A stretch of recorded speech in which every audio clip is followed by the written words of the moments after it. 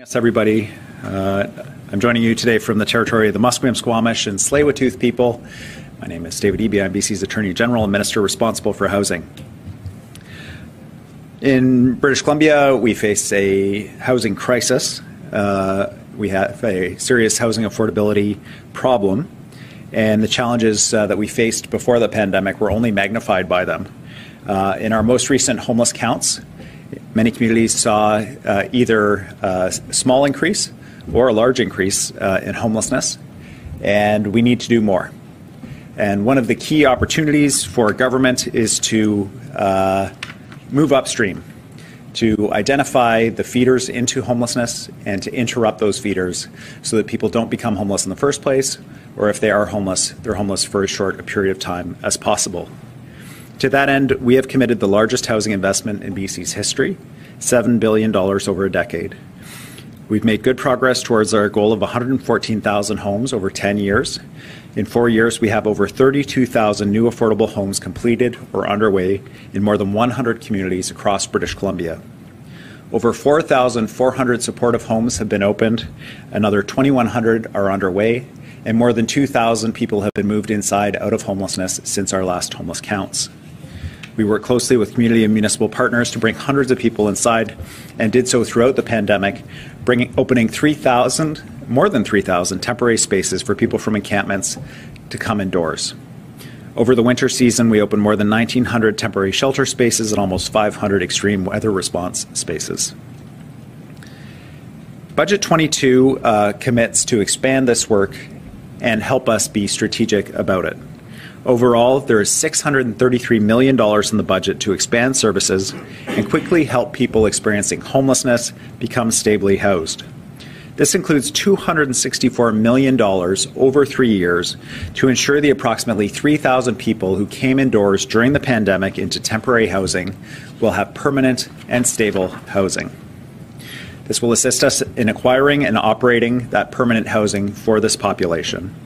It will also enable us to extend the leases of those sites where we are able to do so, so that nobody is forced back into homelessness. Also in the budget, we have a new supported rent supplement program. This is a $600 per month supplement for families and individuals, which also gives them access to integrated health and social supports, healthcare, food services, and employment training. This will assist up to 3,000 households over the next three years. All of this will support the ongoing work happening to develop our provincial homelessness strategy, and we'll have more to share on that later this year. With that, I would like to turn things over to the Minister of Mental Health and Addictions, Sheila Malcolmson. Sheila, go ahead. Thank you, Minister Eby. I'm this morning glad to be joining you this morning from Snuneymuxw territory. With, honored to stand with Ministers Eby, Simons, and Dean as our government acts together on homelessness. Every person in British Columbia deserves a home where they feel safe and live with dignity. For too long, people who suffered serious mental health and addiction challenges were left behind. Their complex needs often led to a cycle of eviction, shelters, emergency rooms, sometimes jail, and they were all too often left to homelessness. That's why Premier Horgan asked me to create complex care housing for people for whom supportive housing has not been enough. And in January, my Ministry of Mental Health and Addictions launched a first of its kind complex care housing program with four initial projects. It's a groundbreaking approach to address the needs of people with overlapping mental health, substance use, trauma, and often acquired brain injury. Of the four initial projects launched in January, in Surrey, complex care housing residents start moving into their new homes at the Foxglove Project, March 28. And complex care housing services have started for people already in the Abbotsford and two Vancouver projects. Now, February's budget invests $164 million over three years to build 20 complex care housing projects, serving 500 people, vulnerable people across British Columbia. This new system of care will connect clients to the services that they need right in their homes, will help establish stability, connect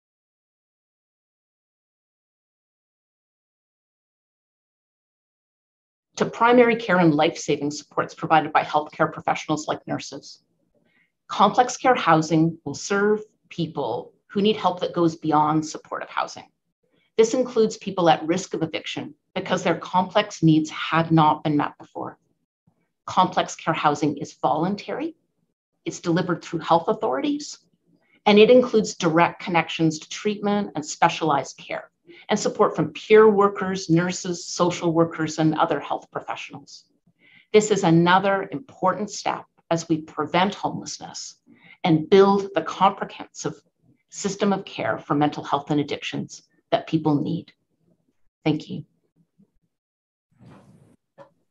Thank you very much, uh, Minister, very much, uh, Minister Malcolmson, for sharing that with us today. At this point, I would like to introduce Stephen D'Souza. Stephen is the Executive Director of the Homelessness Services Association of British Columbia. Stephen, go ahead. Thank you, Minister. Good morning. Uh, as I listen to these announcements today, what's really exciting for me in thinking about these investments and support is that it signals a new approach. It's looking across government in partnership with community and persons with living experience to broaden housing options and increase the availability of wraparound supports. This will have a direct and meaningful impact in people's lives. Now, I think the challenge for government and really for all of us is how do we leverage these investments and supports to transform our systems to better address the root causes of homelessness. So, in the weeks ahead, I look forward to having deeper conversations about how these announcements today will be implemented and how a comprehensive cross government strategy can help end homelessness in BC. Thank you, Minister.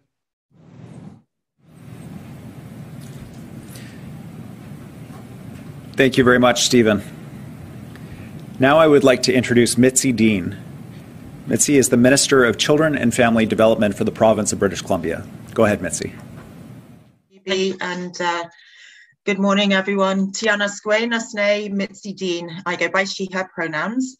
And I just spoke in the Lekwungen language to show my deep appreciation for and respect for the land that I'm joining you from today. Um, indeed, today I'm on the, the territory of the Scia'new Nation. Um, and I appreciate everybody being here for this really important announcement. The late youth housing advocate Katherine McParland called the transition from government care a superhighway to homelessness. We know that without more supports, young adults from care are so much more likely to suffer negative outcomes, including becoming homeless. It's in our power to change this.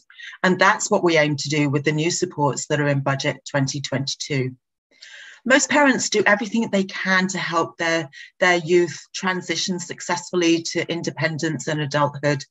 And children and youth in government care need to know we're going to be there for them too.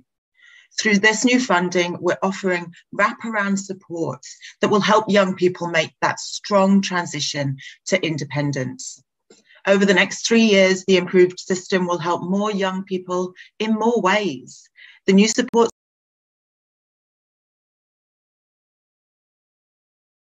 major improvements to those supports. That includes one year unconditional income supplement of $1,250 a month, plus a no limit earnings exemption for young people. So they have an incentive to work and to build that independence for themselves, and expanded medical and health benefits. The new system will give young people improved health and life skills supports and earlier, more direct transition help as well from the age of 14. And our new approach will help young people stay housed and avoid homelessness. In care will be able to stay where they're living up to their 21st birthday. And we've been providing this option to the youth through the pandemic. And I'm really happy to say that this housing option is now extended indefinitely. We'll also be offering a rent supplement of up to $600 a month so that when young people are ready to transition, they can secure safe and stable housing. We've been hearing from youth for years, and that is what is driving these changes. And I sincerely want to thank all of the advocates, Katherine, Tanji, and Stephen, and all of the young people who have shared their stories and pushed for these much needed changes for so many years. This is the first time the province has created a comprehensive cross government approach to supporting youth in and from care. And I so look forward to working with our sector partners and other ministries over the coming years as we put more changes in place so that young people can experience better support as soon as possible. Youth transitioning to adulthood needs supports and tools and relationships to help them thrive. And yet, for so many years, these supports were not enough or were simply non existent. I hope when young people in and from care hear about this announcement, they also hear, We care about you. We believe in you. We're showing youth and children in care that they matter by offering wraparound supports that don't just provide the bare minimum to survive, but give them the supports they need and, and so that they can excel and reach their full potential. Supports that will allow them to be independent, not system dependent. As young people tell me, they want to thrive, not just survive. Thank you. Hi, Chair.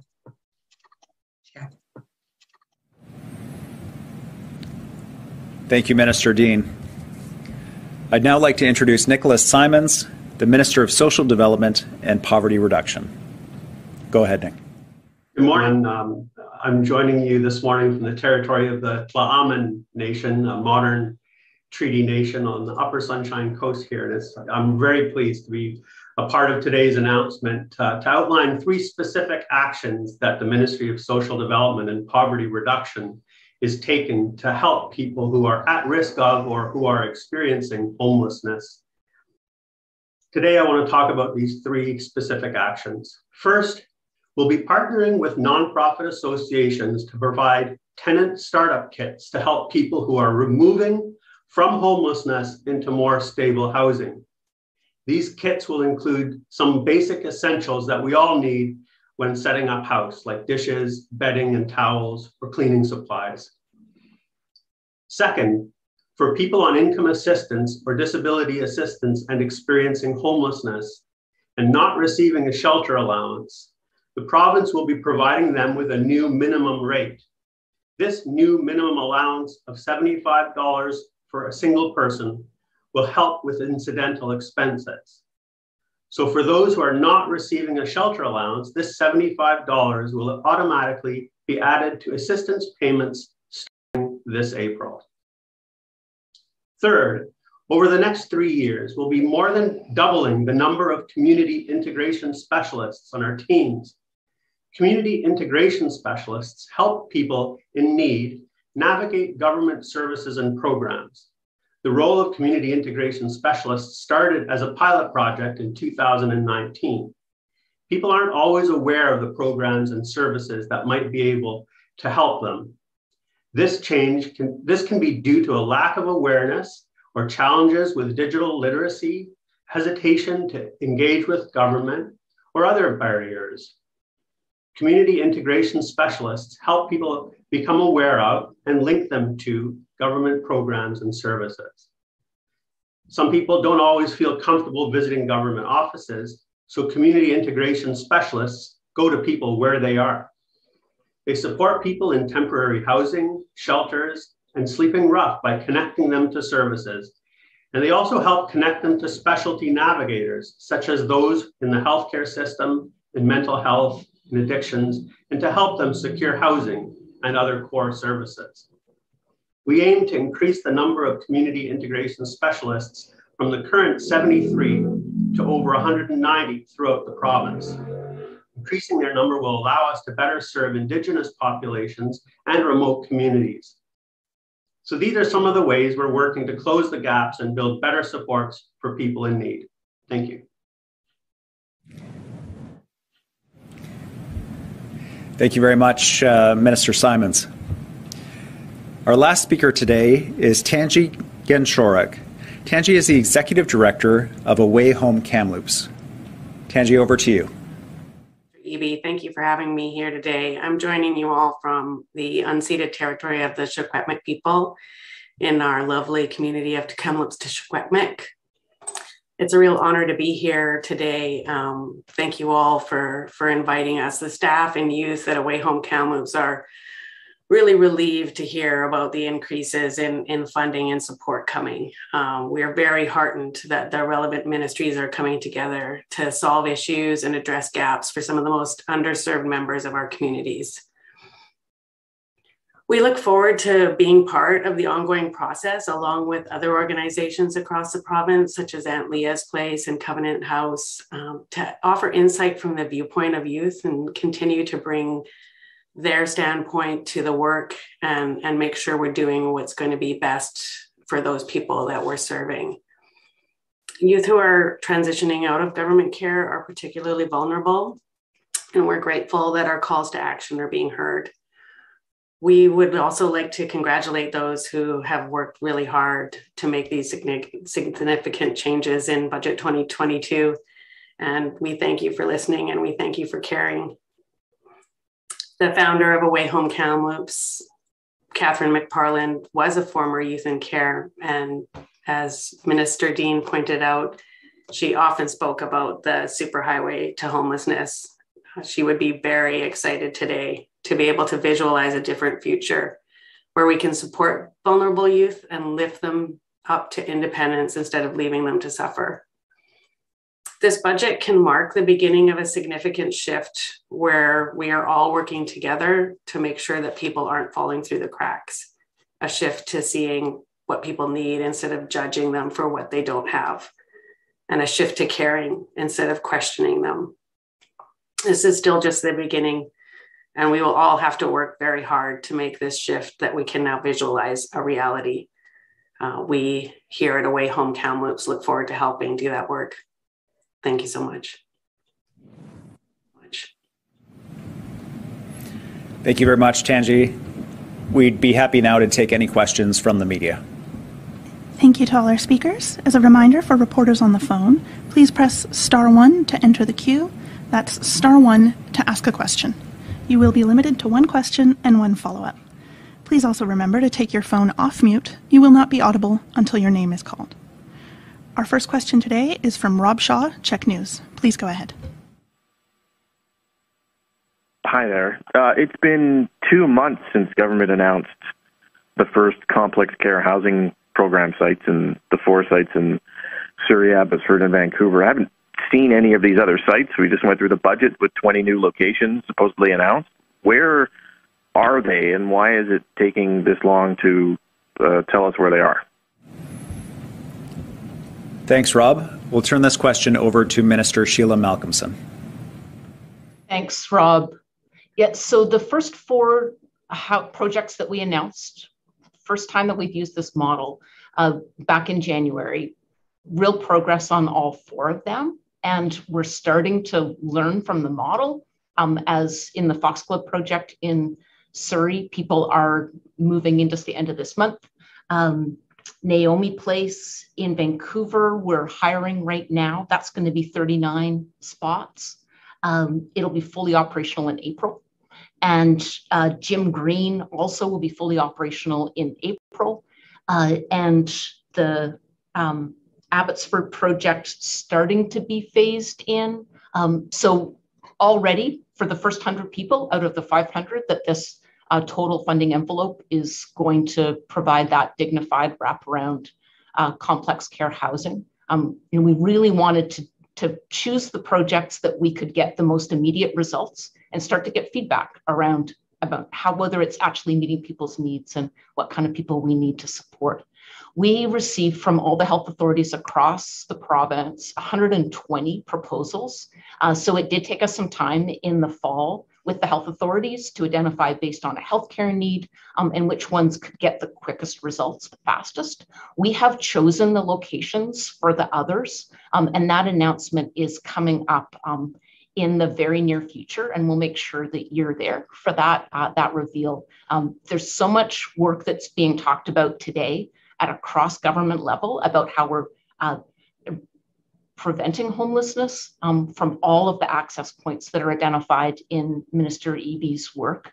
And uh, so this is our first step, um, but, uh, but we'll have news very soon on the specific projects. Uh, we're determined to have this service available in every part of the province. Um, and these first 20 projects uh, will reveal that. Rob, did you have a follow up? Sure. I guess just for Minister Malcolmson again, your community of Nanaimo certainly would like one of these uh, complex care sites, and Victoria, which has been the site of a big investment from government in the unhoused, uh, would like at least one. So, can you at least tell the, those two communities in the island that they've met the cut here for the locations, and you can announce the actual location later? But they're both wondering what's going on and, and whether they're going to see these sites. Yeah, we are in very good contact with the municipal leaders of those communities. Uh, the Urban Mayors Caucus, Union of BC Municipalities, uh, both helped build the framework. They were um, deeply involved in the uh, core planning table that established this new form of housing last summer. Um, we've been regularly briefing them. Um, I met with the mayor of Kelowna just uh, two days ago, um, another community that very much wants to see this service. Uh, we all feel the urgency across government. Uh, we're grateful to municipal partners and all the people working on the front line that have helped us gather the evidence that identifies both where the need is the deepest, but also where we can get people connected with care immediately. This is not a capital project. This is not something that we are going to build and have a you know, multi-year runway. These are uh, complex care housing units for people at risk of homelessness right now. Um, for where the, the need is urgent, we're going to get them up as fast as they can uh, as we can, um, and and we'll have news uh, very soon about which communities are are going to be the first hosts of this groundbreaking new model of care. Our next question. Our next question is from Chad Klassen, CFJC TV. Please go ahead. Hey, thanks for taking my question. Actually, similar to uh, exactly similar to what Rob was talking about in terms of complex care. Uh, Kamloops has been another community that's been uh, pushing for that, and I noticed in the first four that you had announced complex care, there was actually uh, there were actually none in the interior. Can you uh, can you tell residents uh, in Kamloops or the interior that uh, complex care is coming? We'll turn this question also over to Minister Malcolmson. Go ahead. We've um, been in good contact with, with Kamloops, some also very active participants in our planning process. This is a service that is health authority led. Lots of cooperation, of course, from BC Housing, and again, an example of across government how we're working together. Health authorities identified based on a healthcare need, unmet uh, primary care uh, mental health and addictions care and people living with acquired brain injury, and then also meshed with what are the projects that are already being built where we could add, for example, as we did at Naomi Place, basically an extra floor of complex care housing uh, supports and units to a building already being constructed. So we are going to continue to work um, with health authorities and with municipalities to get this new urgently needed model of housing, both homelessness prevention um, and and and attending to homelessness for the most vulnerable people up as quickly as we can. Um, and it's the premier's and my commitment that this will be available in every health authority of the province. January's announcement only affected two health authorities, but again chosen just based on which ones we could um, start moving people into uh, by fiscal year end, um, which we are doing. We'll have news for um, all the other communities that have been calling for this uh, um, in the coming weeks. Chad, did you have a follow up? Yeah, just quickly. I, I know uh, it was uh, spoken about uh, rep, uh, sorry, rent supplements, uh, six hundred dollars per month, uh, which is great for individuals and families. But in terms of the unhoused, this is probably a question for Minister Eby. in Kamloops specifically, I know it's hard to to throw throw numbers out there, but given well, the report that just came out, how much housing new housing is needed, you think, in a place like Kamloops, Minister Eby? In uh, fast growing communities like Kamloops, um, there are a number of different types of housing needed. Without question, uh, we need additional rental housing across the province, including in Kamloops. Uh, market rental housing is often not seen as connected to homelessness. This is for people with uh, middle income salaries or higher. Uh, but when that housing is built, it uh, takes pressure off lower income rental housing and removes those incentives for landlords to evict lower income tenants in order to bring in uh, higher income tenants that can pay more for rent. So, if I were to uh, prescribe just one type of housing, not just for Kamloops, but uh, across the province that we urgently need more of, it's certainly rental housing. For Kamloops specifically, we've been working very closely with the mayor and council on the urgent homelessness situation there, both in identifying temporary shelter spaces, but also uh, longer term supportive housing, and as Minister Malcolmson said, uh, complex care housing. So we'll need the full spectrum of housing uh, in Kamloops and in many communities like Kamloops that are experiencing this rapid growth. Um, and uh, where that housing goes and uh, and uh, what it looks like, all these issues should be dealt with by the local council. And I think we're very much of a mind with City Council at the provincial level about what's needed there. Our next question is from Marcella Bernardo, CBC. Please go ahead. Hi, everyone. Uh, thanks for taking my question. Sorry to monopolize your time asking questions about Kamloops, but is, is there any specific information you can share about what is coming to Kamloops timeline-wise with complex care and, and perhaps giving us a number of how many community integration specialists are dedicated to this region? Um, earlier this week, we heard from the superintendent of the RCMP saying that a lot of the RCMP calls now are dealing with mental health issues. So the sooner the better, and hopefully you can give us a more finite timeline as to when complex care is actually going to be available in Kamloops.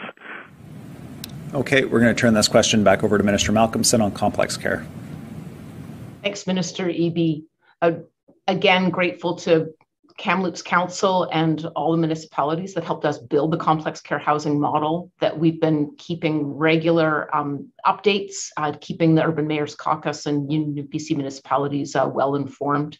I was in the interior the first two days of this week and very grateful to meet with uh, Kelowna and Vernon mayors, also advocates for more mental health and substance use services in their communities. Um, every community in the province contending with a rising tide of demand for substance use and mental health services. You know, honestly, the province was in a hole uh, when we took government immediately in 2017, started building that system of care for mental health and addictions that didn't exist before. But the pandemic, in every way, has been a setback. Homelessness, the most vulnerable people um, in the province that um, Minister Dean and Minister Simons are working along alongside, uh, and of course, the terrible increase in toxicity of drugs and the exacerbation of the overdose crisis. It's very hard for every community, and, and, and including Kamloops. I'm feeling it in my own home as well. We'll have news for the next wave of complex care housing. Uh, we will be standing with municipal leaders and making those announcements in the coming weeks. Um, at every place in the spectrum of mental health and substance use care, we're adding more addiction treatment beds. We're adding more community based counseling. We're adding, uh, with the health authorities, prescribed safe supply to separate people from toxic drug supply, and working closely with policing to be able to uh, better utilize police resources to focus on true crime adding wherever we can community care, uh, nurses, outreach teams that are able to attend to the most vulnerable people. We're doing that with situation tables. We're doing that. Um, complex care housing will be a will be a help as well. Uh, this is a cross government initiative. We all feel the deep urgency for. We recognize municipal leaders are at the very front edge of that, but we we are working together. We have to, and today's announcement is testament to that. Marcella, did Marcella, did you have a follow up? I did, and it's actually a question on behalf of one of my colleagues for Minister Attorney General Eby uh, about housing. How is the migration of people from other provinces impacting housing affordability in this province, and where are we seeing them actually coming from? Uh, thank you for the question. Uh, so, in the last uh, quarter for which we have data, the last three month period, uh, we had uh, about 18,000 uh, people move to British Columbia from other countries and about 5,000 people moved to British Columbia from other provinces. Uh, we're seeing people come from all across Canada, but particularly Alberta and Ontario. And the impact of this is quite significant in terms of the fact that we were already uh, grappling with uh, housing crisis of affordability and the availability of rental housing with the existing population in the province. Uh, and uh, when you add uh, 25,000 almost 25,000 new people every three months to the province, uh, that issue becomes quite serious. This was a 30 year high in in migration from other provinces and other countries. At the same time as we had a 30 year low in the number of multiple uh, of listings for real estate on the multiple listing service, as well as vacancy rates below 1% in most of the major cities in the province.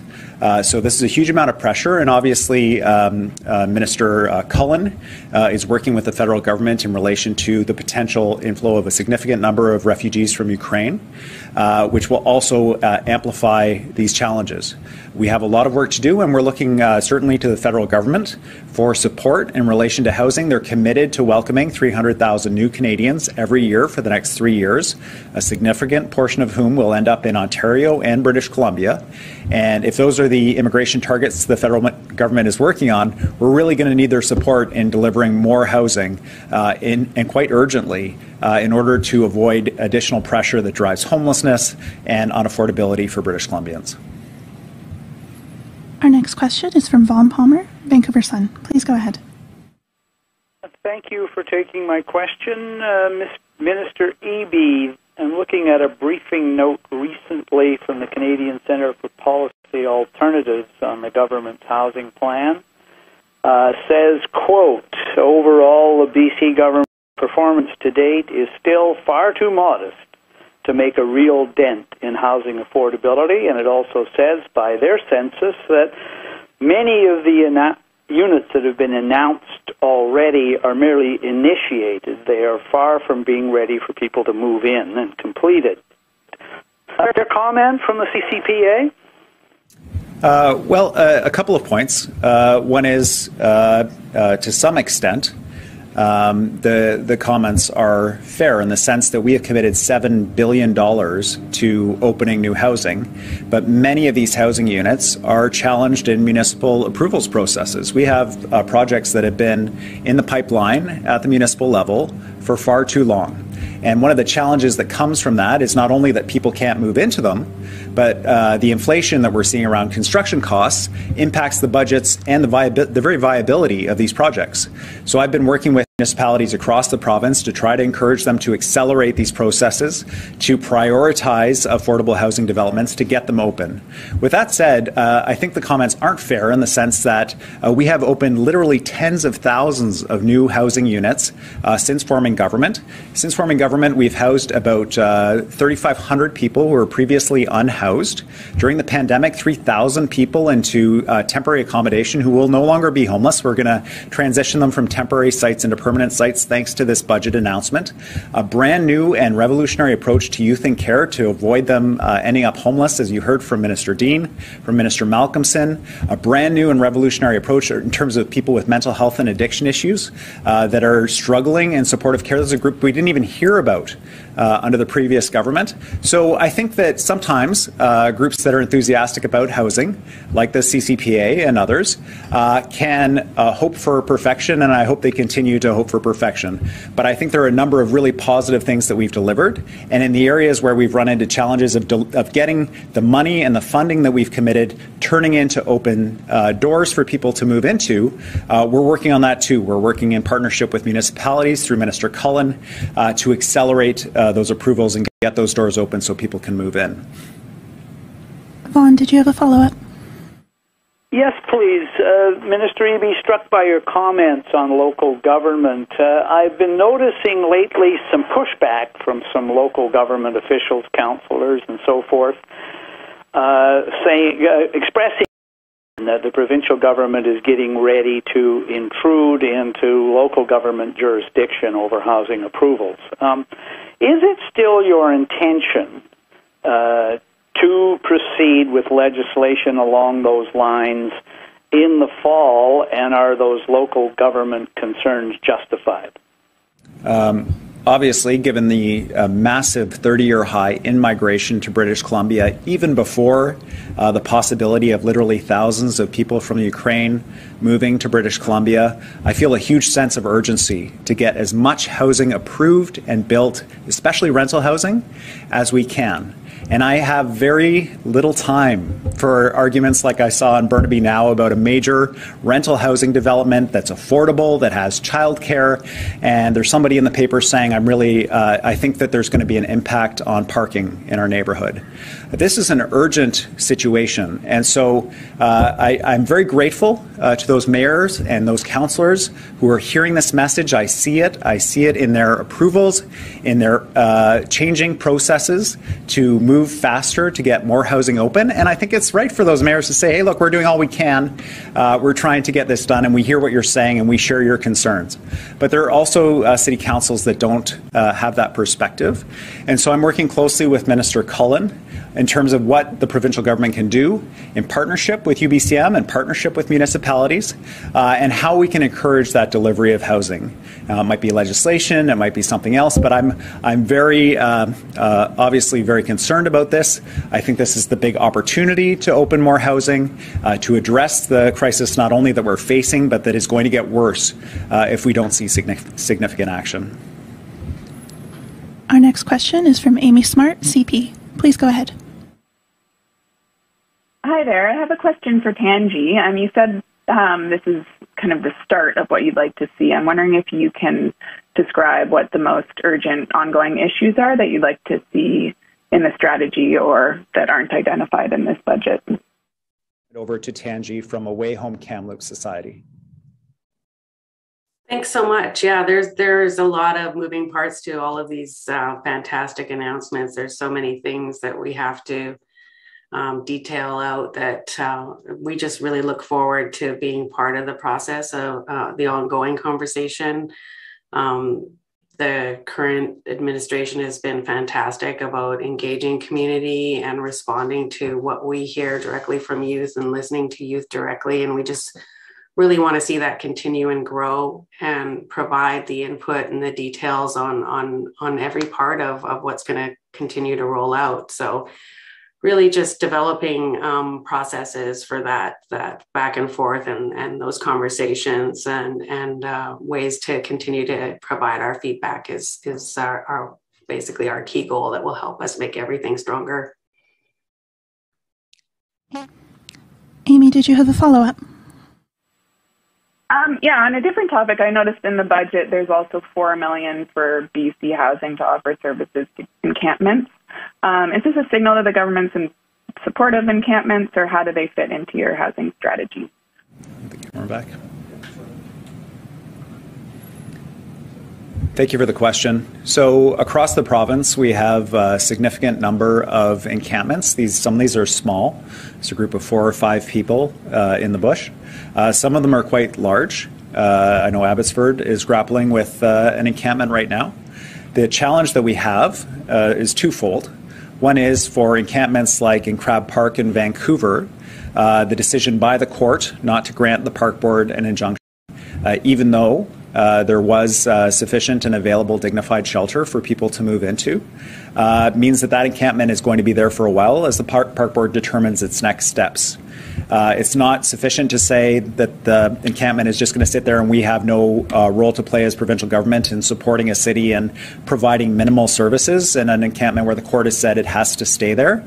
So providing things like porta potties, showers, and other things, both to minimize the impact of the encampment on the surrounding community, but also to provide a little bit of dignity to the people who are living in the encampment, uh, is an important thing to do, and that costs money. So it's in the budget.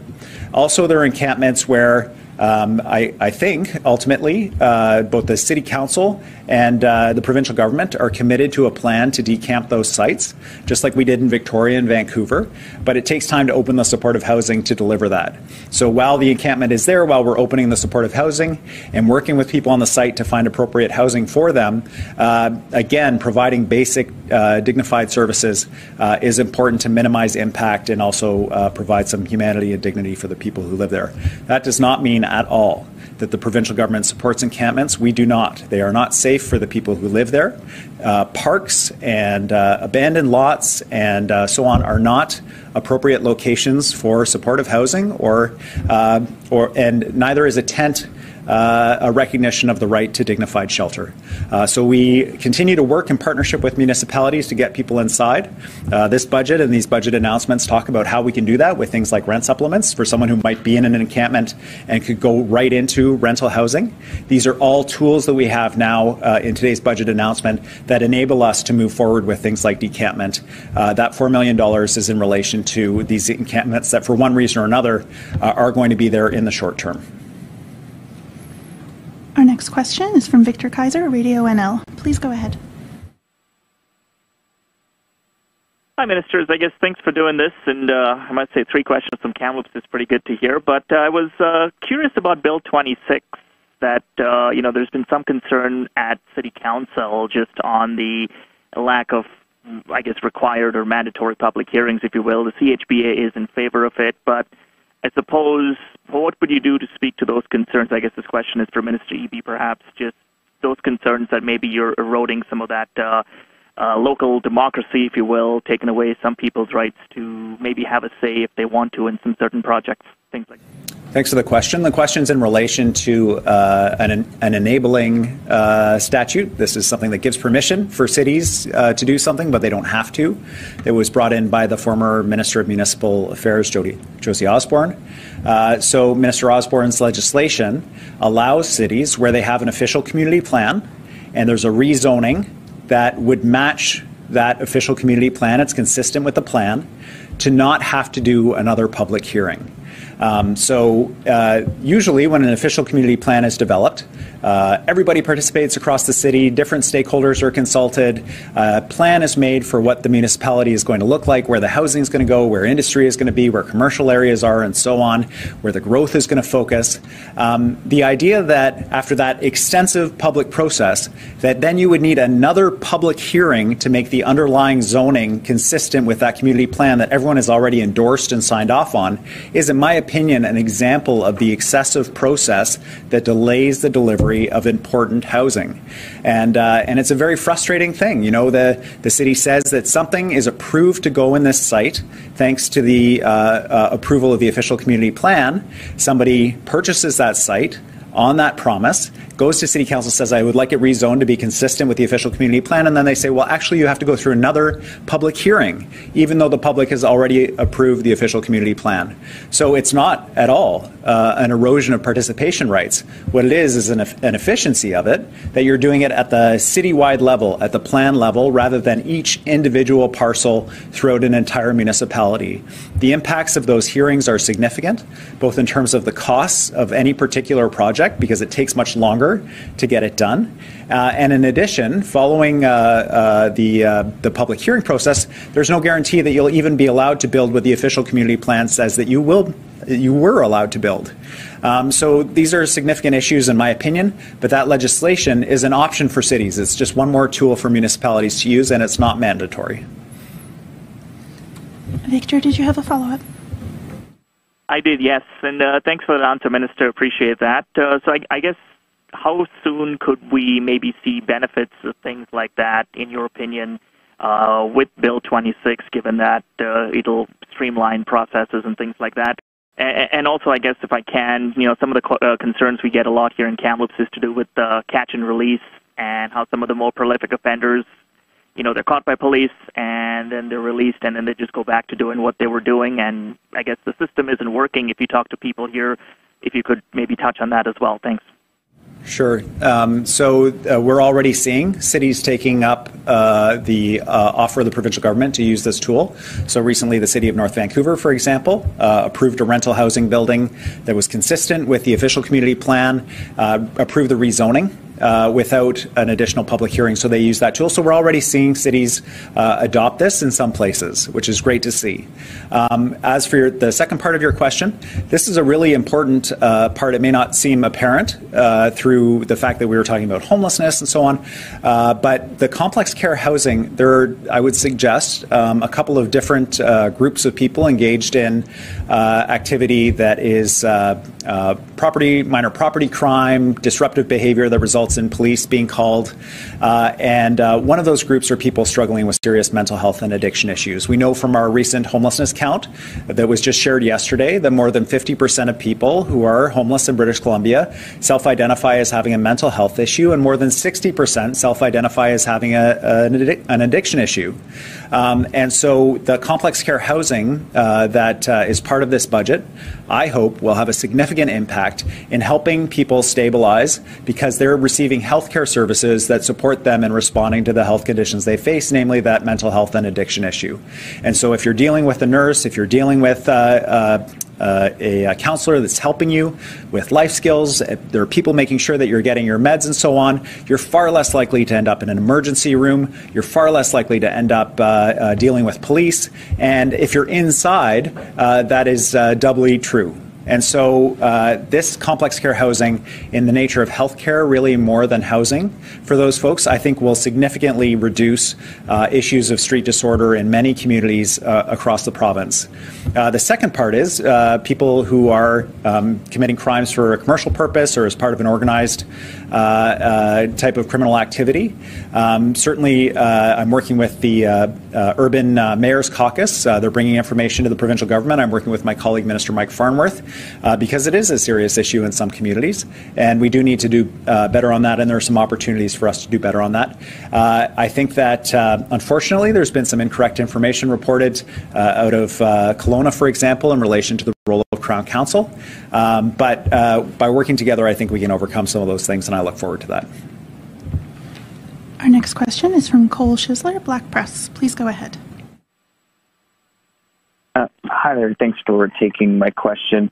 Um, earlier, you talked about encampments, um, and I just wanted to know so, in the Cowichan Valley, the Cowichan Housing Association has had some really good success with these uh, small sleeping cabins that are kind of a step between living rough and being housed for folks.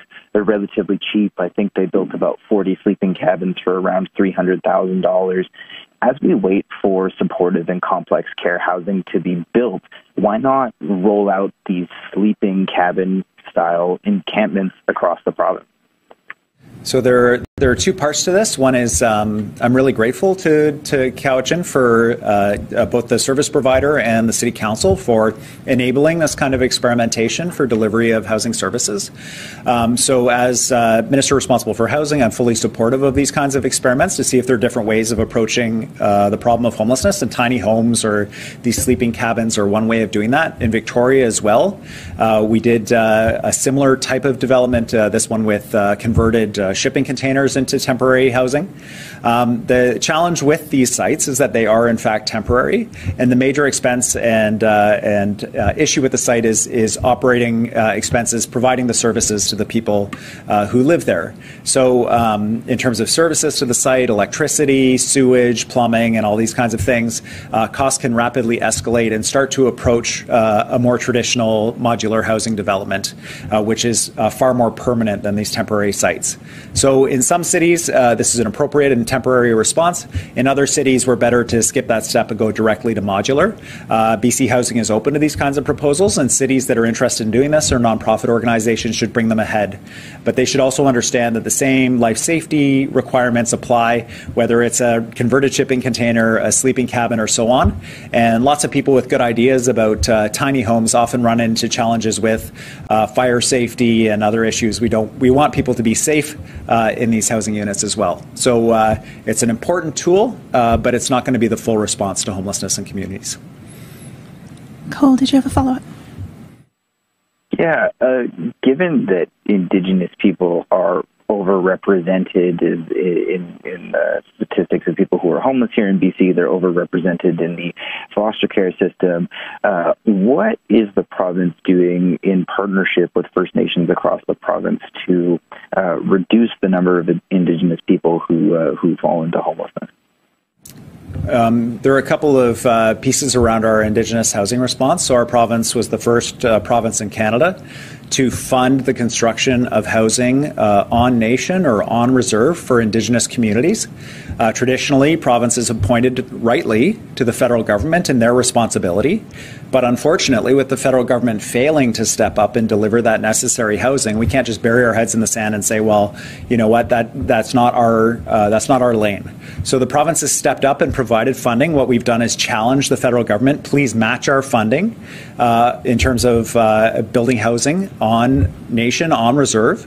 Uh, this is a really important thing for the federal government to do. So we're trying to uh, shame them into action by actually directly funding uh, this housing. The second piece is uh, we're working with the uh, uh, Aboriginal Housing Management Association, AHMA BC. They've recently developed a a housing strategy for the province, an Indigenous housing strategy. We're working with Aboriginal housing service providers in Metro Vancouver, who also have an association who have recommendations for us. And government is working in partnership with First Nations leadership and uh, nations to develop a homelessness an indigenous homelessness strategy. Um, so we have a number of different pieces underway. Uh, the reason for this work, as you say, uh, our recent uh, homelessness count indicated uh, more than 35% of people who are homeless in British Columbia are indigenous people, and yet in the 2016 census, only 6% of British Columbians uh, self-identified as indigenous. So that uh, really disproportionate overrepresentation of Indigenous people in our homeless population is an injustice issue we need to deal with aggressively. We have time for one more question. Our final question today goes to Shannon Waters, BC Today. Please go ahead. Hi, this is a question for um, Minister Simons. I am trying to make heads or tails of uh, what you mentioned today, specifically the new shelter allowance and the minimum rate. Um, are you able to provide some more details on like what levels of supports are actually going to be available for people in terms of dollar figures? $75 really doesn't sound like a lot when it comes to trying to keep a roof over your head in this province these days. Minister Simons. Oh, thanks, Shannon, for the question. Um, this new $75 minimum for a single person um, is, is uh, aimed to sort of offset some of the incidental expenses associated with their, their living situation. So while they're not eligible for shelter allowance because they haven't got shelter to pay for specifically, uh, the $75 per month um, will be uh, will go some way towards supporting their incidental expenses. So that that'll be up to the individual on how they expend that fund, but uh, it was identified as a need and um, one that helps to support people who are uh, currently not housed. Shannon. Shannon, did you have a follow up? I do, and this one I think is going to go back to Minister Eby. Since we're talking about Budget 22, I wanted to ask about something that's not in it still. Uh, the renter's rebate, which the NDP promised back in 2017. We've heard from the finance minister that it's coming at some point over the mandate. You've previously acknowledged that it's not really a policy solution per se, but something closer to the province acknowledging that it gives homeowners a subsidy every single year and renters uh, the average renter in BC does not benefit from that same support from the province. Can you explain why BC renters are still waiting on this policy, especially now when we're seeing rents rise once again and continuing to rise faster even than the annual uh, allowable increase just due to the demand that's out there? So we have taken a number of steps uh, to protect and promote the interests of renters since forming government. Uh, one of those really significant ones, and one that flies below the radar, is the 2% beyond inflation that used to be added to rents every year for renters.